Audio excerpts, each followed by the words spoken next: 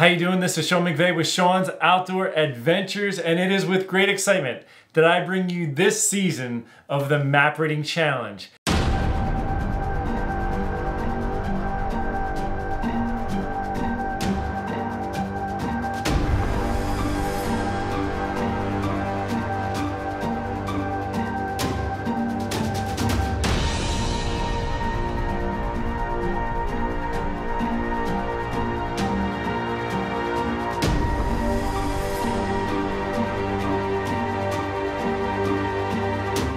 And we're not just going up a whole new level this year. We're going up a whole quadruple new level. I'm not just taking out one or two teams this year. I'm taking out four teams. And this year, the guys are competing for some major grand prizes.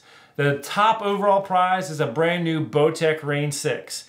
The team with the highest score, they're each going to get an XOP Air Raid tree stand. And stay tuned till the end of this video so you can find out how you can win a brand new Reign 6 and you can win an XOP Air Raid tree stand. But first, let's meet the Men of Faith. That's the name of this team, Men of Faith.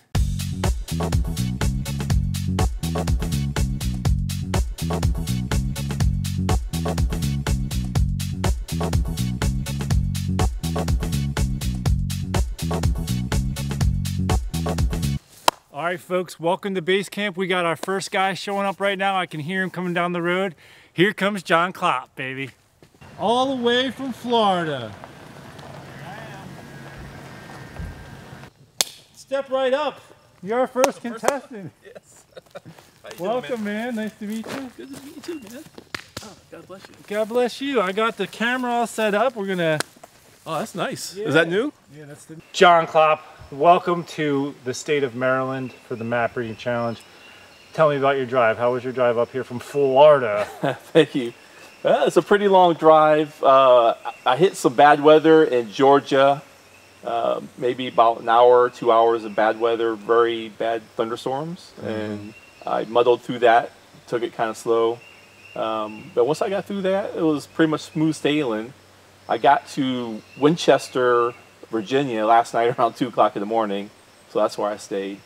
And then I got up this morning. I hit hit Walmart to see if I could find some bear spray, which uh, I guess I kind of thought I'd be able to find some of that around here, but not so. yeah, because there are a lot of bears. Hang on. Yeah, might need some of that. But anyways, yeah. Um, and then I just started heading out here, and man, the the weather's beautiful in the low 70s. Yeah. Uh, the sun was out. That's not going to last long. Like, They're yeah. calling for. We're basically calling to get rained out this whole Right. this whole scout trip. My biggest concern is will the GPSs be able to even catch a signal in that situation? But what would be your biggest expectation coming into the map reading challenge? Get out of here, bug. Um, you know, I, I, I think you know it's a challenge. I, I really want to challenge myself. I'm kind of new. I've only been hunting for a few years. I haven't actually killed a buck yet. Um, I've been with my son on a youth hunt. He's killed two of them, so he's two up on me. Tell them. So I want to kind of even the score a little bit if I can. Yeah, Um, so I want I want to learn some stuff. yeah, Um, so I, I think this will really, yeah, force me to yeah. you know learn a lot of stuff and Well, our plan right now is the other while the other guys are going to get here, we're going to go over some map stuff, and then maybe uh, we'll see how things work out. Maybe I'll take you for a walk with me here. cool. a little bit. All right, guys, or guy, let's wait for the other guys to show up. Okay, before we move on to the next guy, I want to briefly tell you how the map reading challenge works in case you're not already familiar with it. So what we do is we study the maps in advance. We pick out the top spots and then we go for a one-day scout and visit the top waypoints we put in our GPS. We then come back a month or two later and hunt that location for two and a half days to see if we can score on a deer just by studying the maps and a brief scout. Each hunter has the opportunity to earn a score, and it's based on how effective he is in the hunt. In the scoring system, how soon in the hunt he gets it, meaning like if it's the very first hunt, you get a higher score than it's the very last hunt because that means you were super effective in putting yourself in the right spot right away. So So things that contribute to your score are things like the number of hunts. So hunt number one gets a higher score than the, the last hunt, hunt number five. Uh, how close your shot was. If it's a 20 yard shot, you get higher points than if it's like a 35 yard shot. How vital the hit is. If you hit it in the heart and lungs, that's a higher score than if you hit it in the guts. So all of that comes together to create the hunter score. And that's basically how the map reading challenge works. If you want more details on that, go to the map reading challenge page of my seansoutdooradventures.com website. There's a downloadable scoring sheet there and more instructions. Now let me tell you how these guys can win an XOP air raid tree stand and how you can as well. So a typical doe harvest on a map reading challenge, the score is gonna come out to be around 150. So a hunter that goes and go, does the map reading challenge and gets the doe and ends up with uh, 150 points, I'm gonna add a zero to that because another major part of his overall score toward the XOP air raid tree stand is how many views his videos get. And each hunter is gonna get a scouting trip video and a hunt video. So let's say that his scouting trip video has a thousand views at the end of the door. It's going to go until the end of January, this, the uh, view count. And then his hunt video, let's say that gets 2,000 views. So there's a total of 3,000 here. We'll take that 3,000 and add it to his total score for 4,500. So that's going to be that hunter's overall score. The way you can help a guy win is by sharing his videos and getting people to watch them and, and commenting on them. The more you comment on a video, the more YouTube continues to promote it. So commenting is going to be really helpful for these guys. And if you want to see a guy win, you need to drive up the score. Now, when it comes to the air raid tree stand, here's a box for one right here. This is the tree stand that they're going to win and that you have a chance to win. Now, I'll quickly say before I tell you how they can win, the way you win is simply going to my website, seansoutdooradventures.com. On the bottom of just about every page is a way to sign up for my newsletter. Uh, partway through the season, I'm going to send out a registration form for the giveaway because I'm going to need people's address if I'm going to be able to ship this thing out. Um, and probably get a phone number because I would love to call you live to tell you if you're the winner or not. So you're going to need to be on my newsletter and at some point during this hunting season the newsletter is going to go out and you'll get a chance to register to win the XOP Air Raid tree stand. So now each team has three members. We're going to take all three members total score here and add it up and the team out of all four teams, the team with the, the highest overall score, they're all going to win the XOP Air Raid tree stand. So that's the basics. Now let's go on and meet the next guy for this team, Men of Faith. Right there. Do I need to have my sunglasses on? You can do it however you want. Dan the man. All right, Dan. So I was, I got a camera over here pointing at me so people can see what I'm doing, but I was off in the woods showing John how to detect deer compressions in the leaves, and we didn't even hear Dan pull up in his stealthy super deluxe car over here. Like ours are big, loud, clunky cars. yeah, is it what is it? What is it? A Fit. That's a Honda Okay. Fit. A Honda Fit. Okay. All right, Dan. You'd be surprised what could fit in it Oh, and yeah? where it can fit. Uh, that's, that's well, it's I'll, aptly named. I'll tell you what. it's aptly named. I I've been rolling in that Honda Civic for the last however many years, and when I was loading up the Pilot that we got now, I'm like, this is glorious. Yeah. Now you know I can fit a little easier. All right, Dan. So, welcome to the map reading challenge in the state of Maryland. Um, tell us a little bit about yourself, Dan. I am a father of four, which I'm really excited about. We have a big time, two boys and two girls. I teach high school, um, biology, and mostly anatomy. And um, I feel like I'm. So, do you like cad- cadavers and stuff like that? I wi- yeah, right. No, you can't even do that in Is- some medical is, schools. Is dissecting deer fun to you? I don't know. It's work, but uh, I do enjoy pointing out to my kids some of the internal The organs. That's aspect. it's fun. So, It- go, ahead. Go ahead. What No, just interestingly, um, my mom is a nurse. Okay. uh, and the last time I was processing a deer, she was helping, Nice. and she thought it was really interesting getting to see some of that anatomy because old school nursing, Yeah. I guess they didn't Oh, yeah. dissect much. Oh, yeah. Well, le- let me throw this in. My wife is a nurse as well. Yeah, okay. And when I met her, the day that I met her, I said, yeah, I'm going hunting later today, da, da, da, just to see her reaction. She's like, oh, I've always wanted to gut a deer. And I was like, chink. I was like, if I get a deer tomorrow, I'll invite you out. You can gut it. Got a deer the next day. She came out and gutted it, and I'm thinking, this is awesome. And then, but that was like a, it turned out to be a bucket list for her. I got So, you. Okay, so okay. she's like, okay, I'm done with deer now. So anyway, okay, but still, it was a great first start, right? It yeah. great so start. let me ask you this question: Why the map reading challenge? Why did you apply for this? That's a great question. Um, I when I started hunting, I started with a friend of mine. He introduced it to me Mm-hmm. um, about ten years ago. So I was late. I was a late comer. Late he, bloomer. He then moved away, and uh, I tried to go back to the, our hunting spots, but they were all private property. And when I talked to the owners, they're like, "No, Yeah. Yeah, We don't know you. We don't know you. Get out. uh, yeah." So um, You're not cool enough, Dan. no doubt. so I went uh, with my father-in-law for a little while to one place. That was all the hunting ground I had, and I had steered away from public ground.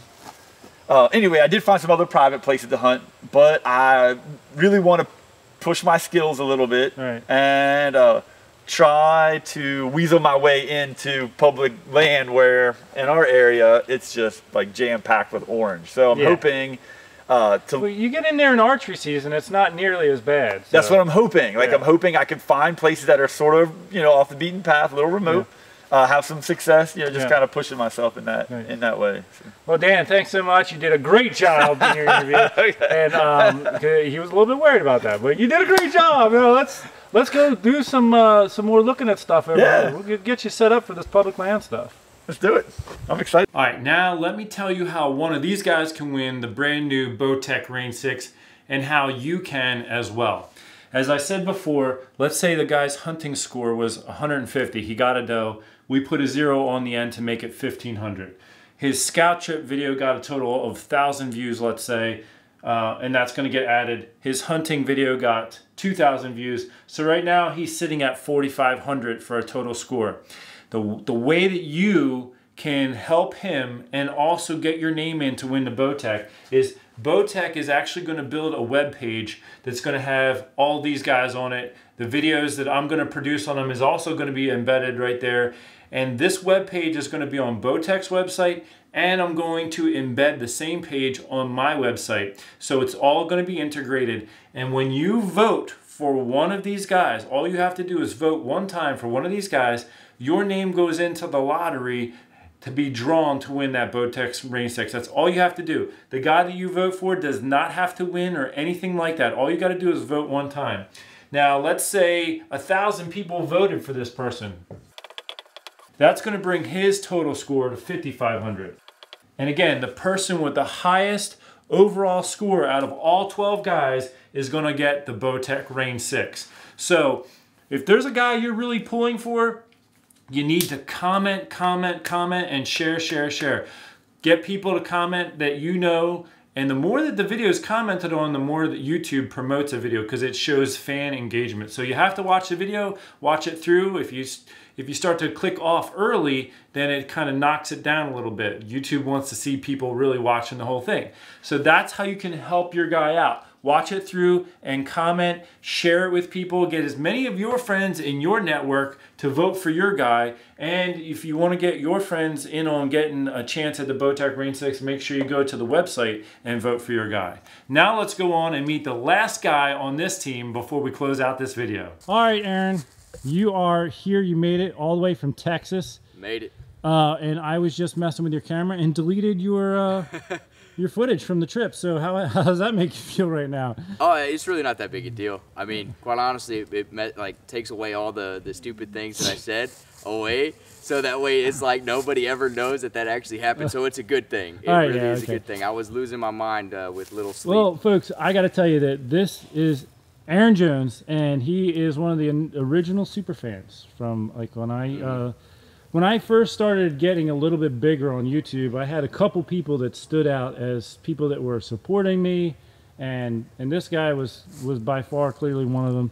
And so when he made an application this year to be on the map reading challenge, I mean, he was a shoe in. And so, I mean, tell me what was your real reason for wanting to come out and do this? Uh, since I think I've been watching your videos since 2000, late 2012 to 2013. Yeah. And I remember when you started out, like with the, each episode in each like season, you you go on several hunts and make an episode out of it. Yep. And uh, ever since that, I always wanted to hunt with you. Oh, that's I wanted cool. to come up here in the mountains and uh, try out on the, the map reading stuff and being able cool. to uh, read the maps and pick a spot. And that's what I mean. It's what got me to, to be the hunter I am today through That's your uh, map reading uh, video. Oh, that's cool, man. Thanks. Well, you know, we had to stop and say a special thanks to your fiance Yes. for letting you come out because you guys are getting married like right after the map reading challenge. Yeah, like uh, like three weeks after. Yeah. So thank you for allowing them to come out. So, um, what's your biggest like hope or expectation for this whole event that we're doing here? One of us gets a, gets a deer down, right? Regardless if that be a buck, doe, indifferent cool. to me. Yeah. As long as we get something down on the ground, it- it's a success in my books. I Yeah. mean, even even if we don't and we, we get some good reconnaissance, reconnaissance and uh, be able to uh, better ourselves next time, Yeah. uh, that's I mean that's that's a success too. But we really want to try to get something on the ground for sure. Absolutely. All right, man. Well, I'm excited. Get ready to do this. Let's do it. Okay, now you've met the whole team, Men of Faith. Let me give you a forecast of what to expect here. So I have three more teams to introduce you to. There's going to be a video like this for each of them, so you get to know the guys. I also did some challenges and competitions in the context of the scout trips. So you're going to see those videos before I start airing the scout trips. And remember, it's when that the scout trips begin to air, that is when all the voting and everything is going to start. So it's not going to start right now today. It's going to start when the scout trip videos begin, and that's going to probably be in a couple weeks. And in addition to all the map reading challenge videos, I do have other videos and content that will be rolling out each week in the context of all this. So be looking out for both. Make sure you like the video, subscribe if you haven't already. And I will say this when the prizes are awarded for these guys, it's going to be the night before the Great American Outdoor Show in February. And the winner of the XOP Air Raid Tree Stand of my viewers, you're going to be invited to come to the awards ceremony if you want. And I invite all of the fans, all of the viewers to join me and the whole Map Reading Challenge crew at the Great American Outdoor Show the first day that it opens. So make sure you stay tuned for that. Also, the Bowtech is going to be given away just before Thanksgiving in November. So, if you're planning to do hunting after Thanksgiving, even in the late season, you could be hunting with your brand new Bowtech. So, thanks for tuning in to this video. Make sure you stay tuned for the rest. God bless, and I'm excited for this season.